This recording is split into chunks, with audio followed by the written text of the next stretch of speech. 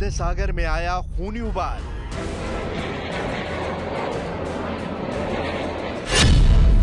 तेल अवीव से बेरूत तक बरसा बारूद।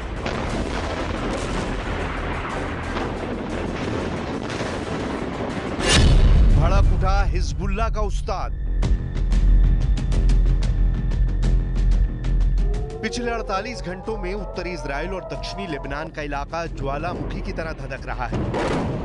48 घंटे के अंदर हज़ारों की संख्या में रॉकेटों से हमले हुए हैं। आसमान से हज़ारों टन बारूद बरसाए गए हैं। बमों की ऐसी बारिश पिछले साल अक्टूबर में हमास के साथ शुरू हुए युद्ध के बाद पहली बार उत्तरी इसराइल और दक्षिणी लेबनान में इतने बड़े हमलों को अंजाम दिया गया।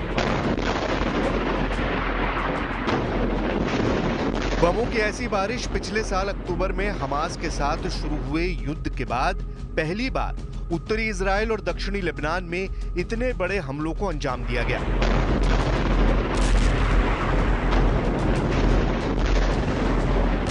हिजबुल्ला ने रविवार को सुबह सुबह इसराइल पर सैकड़ों रॉकेट और ड्रोन दागे, जबकि इसराइल की सेना ने कहा कि उसने एक बड़े हमले को विफल करने के लिए लेबनान पर करीब 100 जेट विमानों से हमला किया। 10 महीने से ज़्यादा समय से चल रहे युद्ध में ये सबसे बड़े हमले थे। सुबह के वक्त आसमान में मिसाइलें देखी गई। उत्तरी इसराइल में हवाई हमले के सायरन बजने लगे।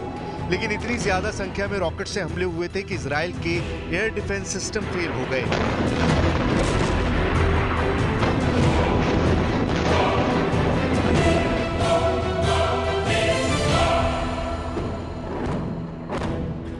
इसराइल ने अपने फाइटर जेट से दक्षिणी लेबनान पर कहर बरपा दिया, लेकिन युद्ध का ये स्वरूप और ज़्यादा बढ़ने वाला है।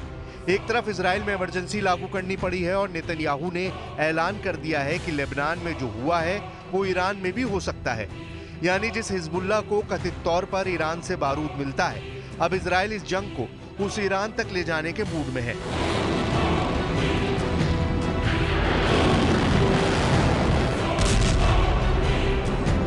नेतन्याहू के इस ऐलान के बाद भी हिजबुल्ला रुकने वाला नहीं है। हज़ारों लॉन्च पैड तबाह होने के दावों के बाद भी लेबनान से ऑपरेट करने वाले हिजबुल्ला के कमांडर ने ऐलान किया है कि इसराइल को किसी तरह की माफ़ी नहीं मिलने वाली।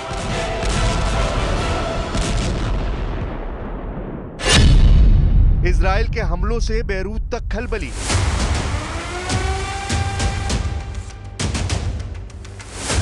नसरल्ला का ऐलान।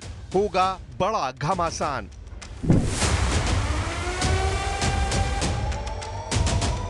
रविवार की सुबह जब उन 320 कत्यूशा रॉकेट को लेबनान की धरती से दागा गया और इसराइल में 11 सैन्य ठिकानों को निशाना बनाया गया, उसके ठीक बाद हिजबुल्ला के कैंप में जश्न मनाया जाने लगा। लेबनान में एक अज्ञात जगह पर हसन नसरल्ला ने ऐलान किया कि यह बदले की कार्रवाई थी। और ये एक्शन इसलिए ज़रूरी था क्योंकि इलाके में जो इक्वेशन है, उसका बैलेंस रहना ज़रूरी है।